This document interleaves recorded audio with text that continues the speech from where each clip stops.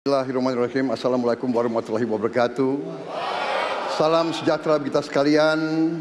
Shalom, Om Swastiastu, Namo Buddhaya, Salam Kebajikan. Uh, terima kasih uh, kesempatan yang diberikan kepada saya untuk menyampaikan visi dan misi. Kami menempatkan hukum, HAM, perbaikan pelayanan pemerintahan, pemberantasan korupsi, pelindungan terhadap semua kelompok di masyarakat sebagai sesuatu yang sangat penting.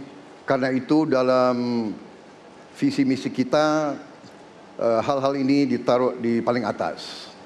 Kita sadar dan saya sadar sejak muda saya telah mengangkat sumpah untuk membela Pancasila dan Undang-Undang Dasar 45. Di dalam Undang-Undang Dasar 45, di situ pendiri-pendiri bangsa kita mendirikan sebuah republik.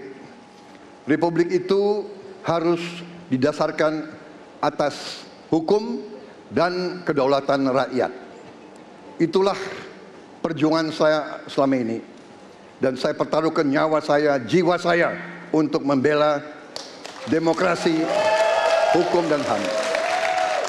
Kita faham, kita mengerti masih banyak kekurangan.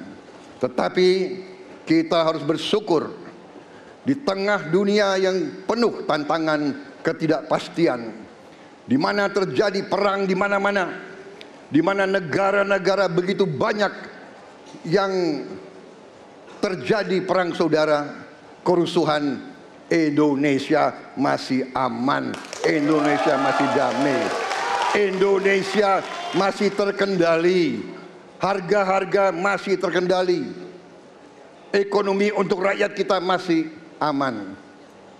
Karena apa? Karena kepemimpinan. Karena apa?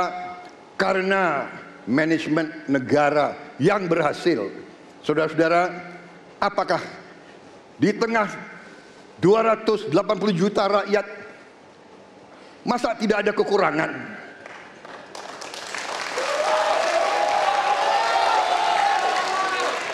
tetapi kita harus arif kita harus dewasa dan kita tidak boleh munafik